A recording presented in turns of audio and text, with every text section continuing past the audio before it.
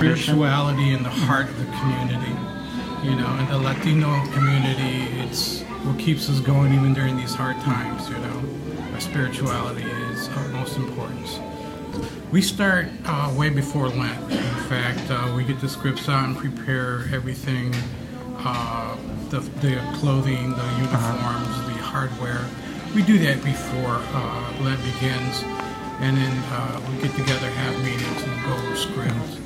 Then uh, by Lent, you know, uh, we're beginning of Lent week before we start, you know, getting the people together, and we do uh, rehearsals here at the church. Okay.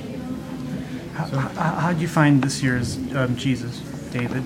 David, you know what? David is the son of David, but his dad did it a couple years Really? back. Yeah, and uh, I thought that, and you know, the family tradition. They've been long into it for a while, and they do very well. Uh, they're very committed. The whole family, everybody here at Our Lady Guadalupe is committed. You know, it doesn't matter what skill level they're at. Mm-hmm. They're all committed. They come. They do this sacrifice of their time, their talent, and their treasure mm-hmm. to make this happen. You know, every Good Friday.